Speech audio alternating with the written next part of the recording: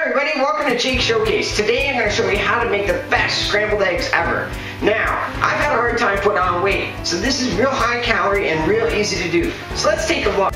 What you're going to need is you're going to need six extra large eggs, you're going to need a cup of whole milk, and about 60 grams of cheddar cheese, and two pieces of whole grain bread.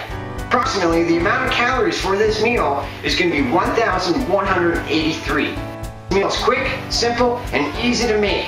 So let's get started. I'd like to start off with six extra large eggs for this dish. We're also going to need about a cup of milk. You're also going to need about this much or about 60 grams of cheddar cheese. That's the kind I like anyway.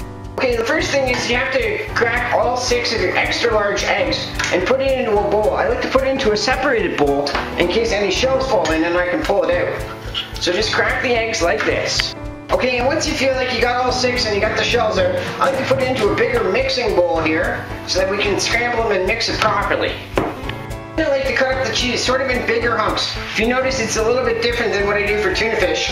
And just throw it all in here, like that. I know I said a cup of milk, but the truth is, that I just put in sort of a, an amount that I feel is a good amount so it makes it sort of white and sort of egg-like before we mix it one of the key parts. You're going to need to have a fork, and what you're going to do is you're going to rotate up so that you get the nice air going into it, just like this.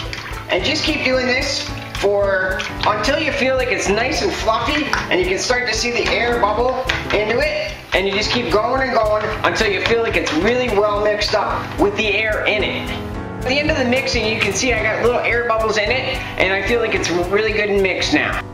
At this point, you want to turn on your stove to a number 4 on a standard electric oven to get it nice and hot to cook. When you feel it's heated up, you want to throw on some butter. I like to throw on a lot of butter because I, I just like to. Go, some even some extra butter. Get it nice and covered. Once it's all nice and covered and it starts sizzling like this, you pour your mixture into the thing. You'll notice the cheese goes in last, okay?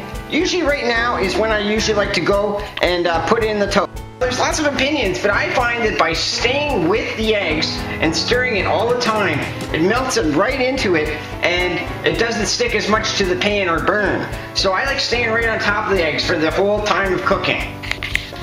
So here we're about halfway done, and if you notice the cheese is completely sort of uh, integrating and melted into the uh, egg, the eggs here, which is really nice because it's going to give a nice round flavor for the whole thing. I don't know if you can see here, but there's a whole bunch of like water that forms in the side, right? And I like that to really sort of boil down uh, to, because uh, I like my eggs a little bit drier. And this is sort of a, a, sign that it's getting close to the end. This is when I usually like to put my toast actually and, and pop it down. Okay, so the toast popped, and I'm gonna call this done here. And if you notice, there's a whole bunch of water, so I use this strainer thing to make sure I get the eggs out and none of the water. Okay, so there's my 12 grain whole grain toast ready to go. And you just take out the eggs here, and you put them all in. It's gonna be so yummy. I can't wait.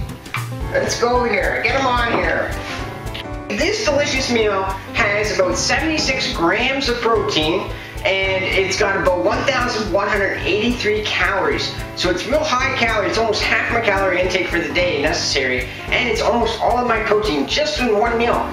Look how simple and quick and easy and delicious it looks. I really can't wait. If you really want to top it up, you just get a nice big giant cup of whole milk and your calories go up for about another, another three to 500 calories. This is a really great way to get your protein and your calories, and it's so simple and easy. There you go, that's my scrambled eggs. That's how to make them, step by step. It's great for anybody trying to put on weight and muscles like me. All right.